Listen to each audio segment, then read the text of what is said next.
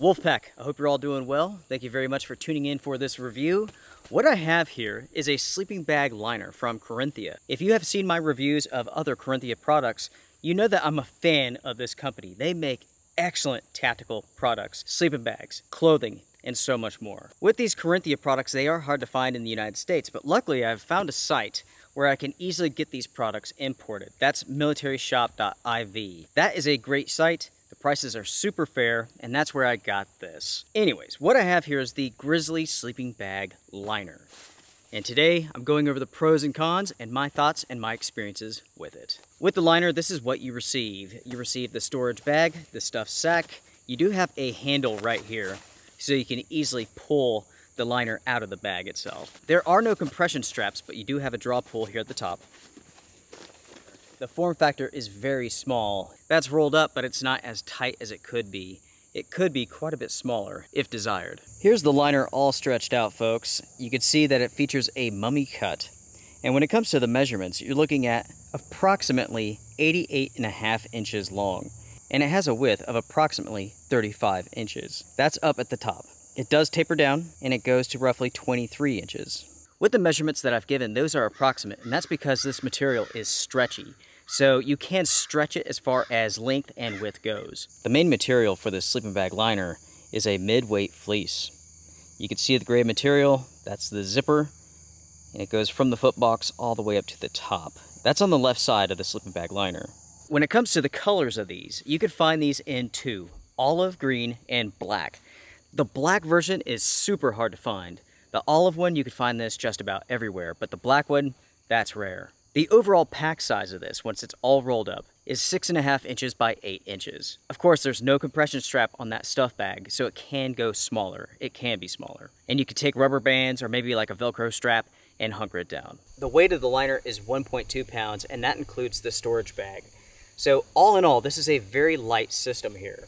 When using this product in conjunction with a sleeping bag, it will add roughly 9 degrees to that system. The cheapest price that I could find for this liner is at the militaryshop.lv where I got it. The price of this, $68. And with that being said, you need to know that Carinthia offers two different sleeping bag liners. They have a polyester cotton liner that is very much different than this. It is less expensive, it's not as warm, it's more of like a sheet.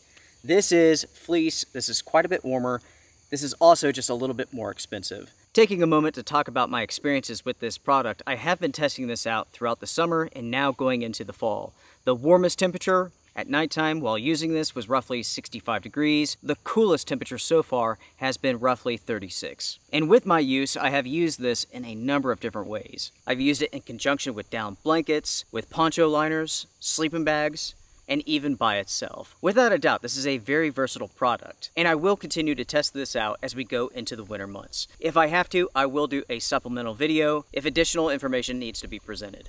Now everyone, let's go over my pros and cons for this product, starting with the pros. Now these are based upon, I mean, countless nights of use, again from roughly 65 degrees all the way down to roughly 34. So this is warm, there's no doubt about it. This fleece liner is very warm. It does add roughly 9 degrees to your sleep system. So you can easily do combinations with other products and extend the temperature range. For an example, I camped out in one trip. The temperature got down to roughly 48 degrees. I used this and a very thin down blanket in extremely windy conditions and I was very warm, very comfortable. Without a doubt, this is a very warm product that you can use throughout the summer months and you can use it by itself. With my experiences and for myself, once the temperatures hit roughly 50 degrees, that's when I noticed that I was beginning to get a little bit chilly. So I needed an additional insulation layer. A poncho liner makes an awesome addition to this kit and you can easily go into the 40s. Now of course everyone that is subjective because everybody's different. I run warm, some people run cold, that's how it goes.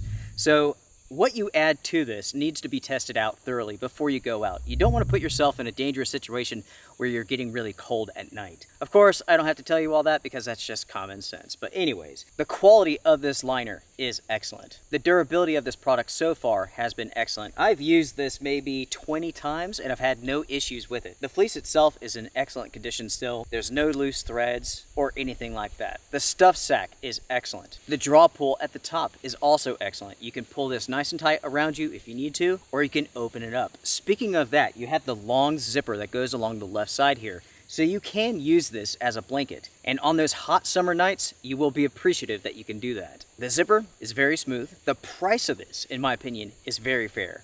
68 bucks for this liner is not a bad price. Sleeping bag liners can be rather expensive, Considering that this one is from Carinthia, that's an amazing deal. When it comes to their sleeping bags, their liners, their prices are super fair. When it comes to their clothing, they can be incredibly expensive.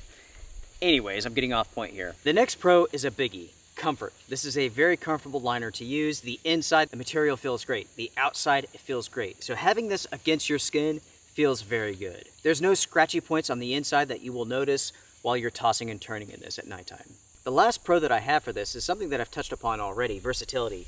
For a very low price, you can easily come up with a kit that's not only lightweight, but also very inexpensive. For an example, you can pair this with a down blanket and you'll pay roughly 120 bucks and that's for both components. And you can easily go into the 40s and that's a lightweight kit. That's only roughly two pounds. So you can easily see here just how versatile this piece of kit is. Now let's go over to the cons because there are a few to mention. First off and most importantly is size. This is available in one size and one size only so pay close attention to the measurements is this going to be big enough for you? The next con that I have for this is that you cannot choose which side the zipper is going to be on. So depending on the sleeping bag that you're using in conjunction with this, it may have a zipper on the right side, but then you have the zipper on the left side for this. So it would be nice to be able to choose. Really folks, that's a very small con, but it does need to be mentioned. So those are the pros and cons that I have for this liner. Ultimately, do I recommend this? Yes, I can give this a thumbs up. This is a terrific product. Very versatile, lightweight, warm, I'm curious to hear from you all. How would you use it? In what ways and what conjunctions would you use it? I appreciate you all very much for tuning in. Make sure, again, to sound off in the comment section down below.